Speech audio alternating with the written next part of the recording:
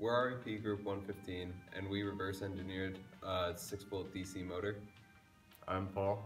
I'm Chris. I'm Jesse. We hope you enjoy our project.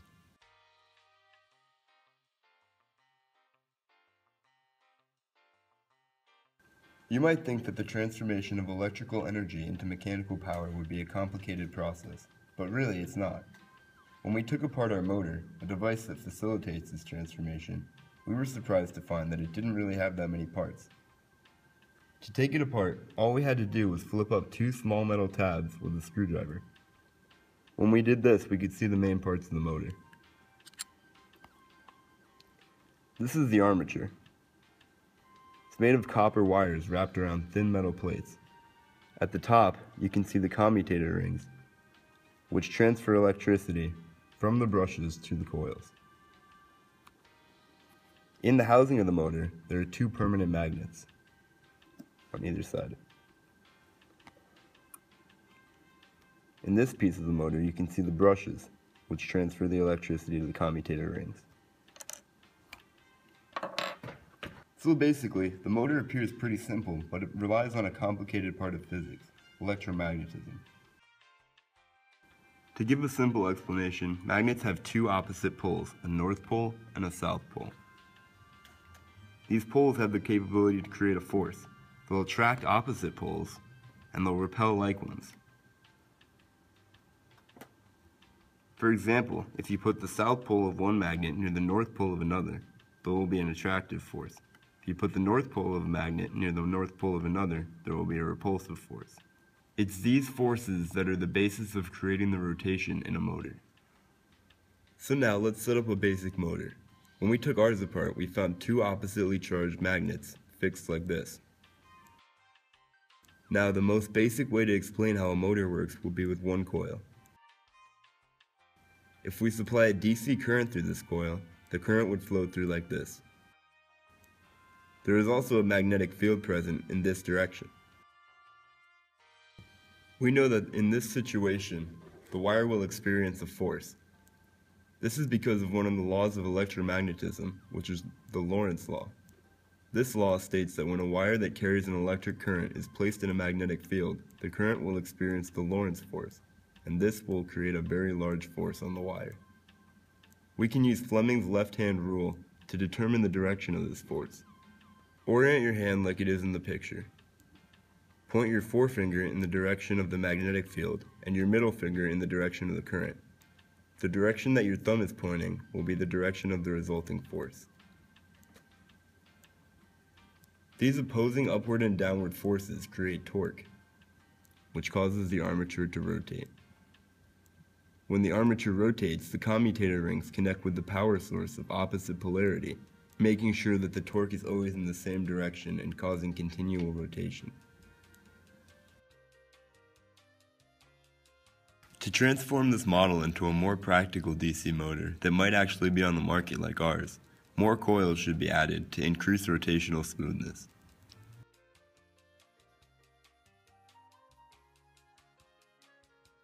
Layers of steel should also be put in between coils to enhance magnetic flux interaction.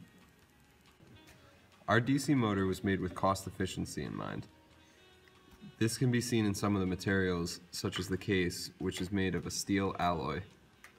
Steel alloys are very cheap to make and very cheap to produce. In terms of making the case better, uh, one possible way is to make it out of aluminum. Aluminum is lighter uh, and just as strong, but it is a lot more expensive, so would therefore raise the price. The cap closes off the motor from the outside environment. It is made of a cheap plastic because that's very inexpensive and very easy uh, to mold into this shape. It has two electrodes to attach wires to and also has a metal ring inside of it so that when the axle is placed through, it does not grind down the plastic. The brushes are very cheap and easy uh, to make. They are not very effective though, as they wear down very easily, as they are very thin and they do not have a spring to push them back onto the motor. On the inside of the case we have permanent rare earth magnets. These are used instead of electromagnets because on this scale, electromagnets do not work well. On the inside of the motor, we have the armature, which is located on the axle. Now, the axle is made from uh, polished steel. Uh, the reason it's polished is to reduce friction and wear. Also reducing friction and wear are the two plastic washers on the inside. In larger motors, these are replaced by ball bearings as the plastic would wear down too fast. Both the wire and the commutator in our device are copper.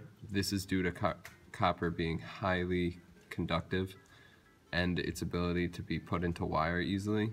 It is not the most inexpensive metal, but it is really the only viable option for such a device.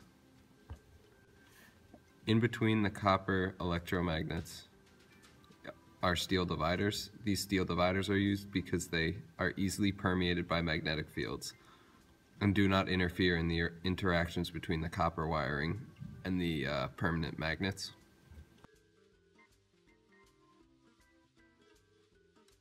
There are several improvements we can make to our motor that will allow it to run more efficiently. For starters, the more coils that the motor has, the more efficiently it'll run.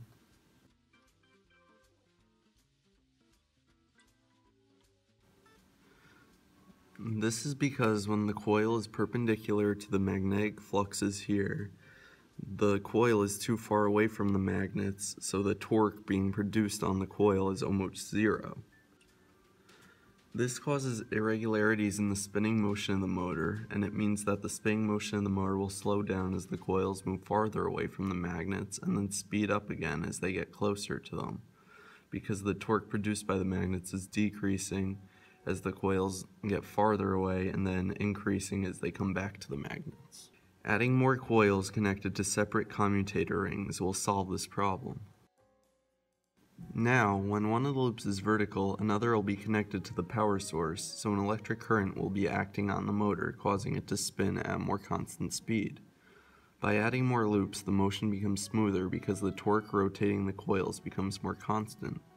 This is because the coils have less distance to travel before the next one reaches the magnet, preventing the rotor from slowing down or speeding up as much. We can also improve the two metal brushes that are located here on our motor. These two metal brushes are used to allow electric current to run from the wires to the commutator rings, which powers the motor.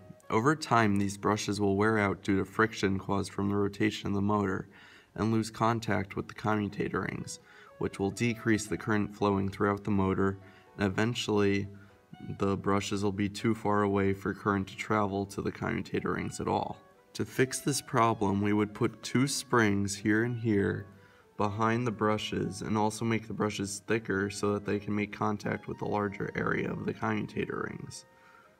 This way that as the brushes wear out, the springs will push the brushes forward so they remain in constant contact with the commutator rings. This will keep the electric current running through the motor constant, preventing it from slowing down or speeding up over time. This is important for motors that have to run continuously for long periods of time. Without the springs, a motor like ours would have to be constantly replaced as its brushes wear out. Another way to improve our motor would be to use an electromagnet instead of the permanent magnet that our motor uses.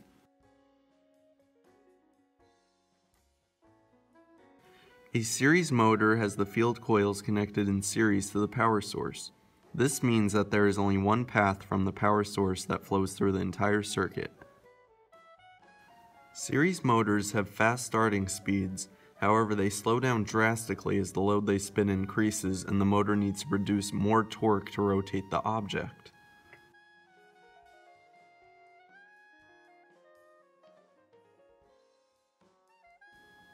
The other kind of motor is a shunt motor, which has, a, which has the field coils connected in parallel.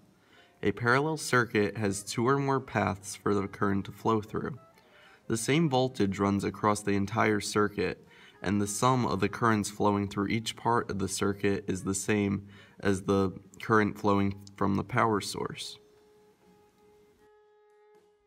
A shunt motor spins slower than a series motor for lighter loads, but it's able to spin at an almost constant speed as its load increases and it's needed to provide more torque to rotate the object. So depending on how heavy the load is, a series or a shunt motor can be more efficient.